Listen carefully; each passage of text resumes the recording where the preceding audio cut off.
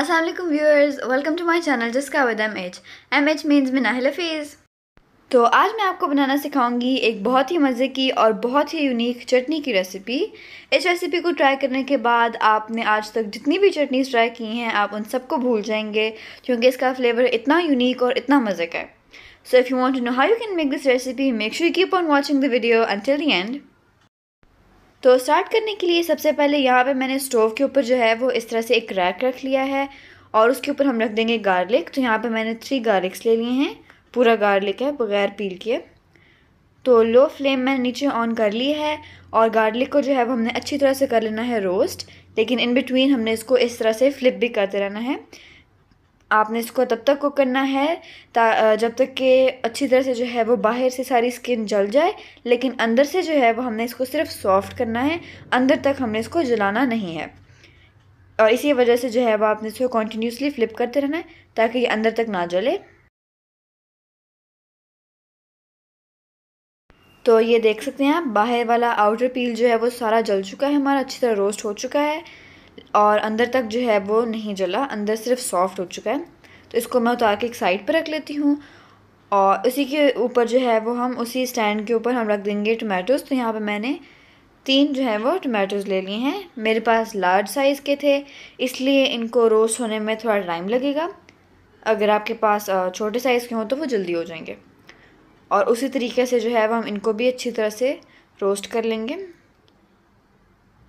ये देख सकते हैं आप। वो आ, इसको आप देख लें ये इतना अच्छा सॉफ्ट हो गया है कि पील जो है वो ऑलरेडी उतर रहा है इसका।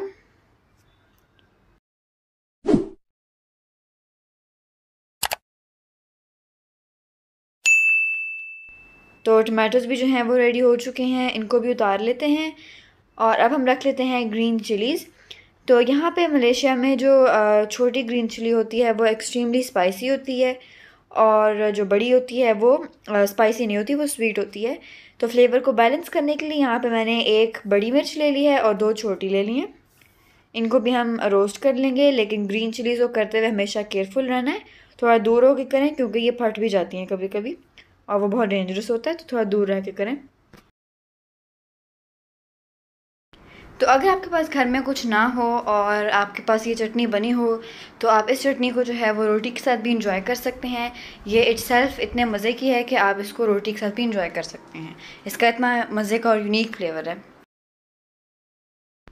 तो इधर जो है मैंने सारी वेजिटेबल्स को रोस्ट करने के बाद निकाल के अच्छी तरह से ठंडा कर लिया है। तो जब ये अच्छी तरह से ठंडी हो जाए, फिर आपने जेंटली जो है वो पील कर लेना है। तो इसको केयरफुली करेंगे क्योंकि हाथों से स्लिप हो रहा था टमाटो इसलिए आपने इसको केयरफुली करना है। ये देख लें आप इजीली जो है वो ये पील हो रहा है। तो इसी तरह से जो है वो आपने सारे टमाटोज़ का पील उतार लेना है, छिलका उतार लेना है इसका। तो इधर मैंने तीनों टमाटरों का जो है वो छिलका उतार लिया है। अब हम चलते हैं नेक्स्ट इंग्रेडिएंट की तरफ़। तो यहाँ पे हम गार्लिक को कर लेते हैं इसी तरह से। तो एक एक क्लोव को जो है वो हम अलग करके पील कर लेंगे और ये इतना सॉफ्ट होता है कि ये इजीली जो है वो आपसे पील हो जाएगा। ये देख सकते हैं आप कितना आराम से जो है वो उतर रहा है। और क्लोव्स के छिलके को जो है वो भी हम उतार लेंगे। और इस पॉइंट पे दोनों टमाटर और गार्लिक जो है वो रेडी हो चुके हैं। अब हमारे पास सिर्फ़ ग्रीन चिली रह गई है तो इसको भी हम जल्दी से जो है वो पील कर लेते हैं। और ग्रीन चिली को पील करना सबसे इजी है। बस इस तरह से जो है वो आप एक नाइफ़ की हेल्प से जेंटली स्क्रेप कर लें। ज़्यादा ज़ोर नहीं लगाएँगे क्योंकि ये सॉफ्ट होती है। तो आपकी ग्रीन चिली भी जो है, वो कट सकती है। इसलिए ईज़िली सॉफ्टली जेंटली जो है वो आप बस छिलका उतारें इसका इस तरह से। और इधर सारे इंग्रेडिएंट्स जो हैं, वो हमारे अच्छी तरह से पील हो चुके हैं। अब मैंने इसको एक डाल दिया है बोल में, बड़े बोल में इस तरह से देख सकते हैं। और हमने जो है वो सारे इंग्रेडिएंट्स को करना है अच्छी तरह से मैश आपने इसको ग्राइंडर में ग्राइंड नहीं करना, क्योंकि अगर आप ग्राइंड करेंगे तो ये एक पेस्ट बन जाएगा और हमें जो है वो ये एक चंकी चटनी की फॉर्म में चाहिए. बिल्कुल इस तरह से ये देख लें आप. यही अगर हमें इसको एक चॉपर में करते तो इसने एक बहुत फ़ाइन पेस्ट बन जाना था. और फिर ना ही इस चटनी ने इतना अच्छा लगना था और ना ही इसका सेम टेस्ट आना था. तो इसलिए इस तरह से जो है वो आपने इसको हैंड्स के साथ हाथों से मैश करना है.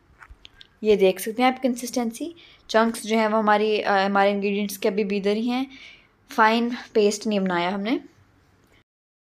और अब इसको एक अच्छा सा कलरफुल लुक देने के लिए यहाँ पे मैंने हाफ़ कप जो है वो उसमें डाल दिया है कोरिएंडर लीव्स का, जिनको मैंने फाइनली चॉप कर लिया है।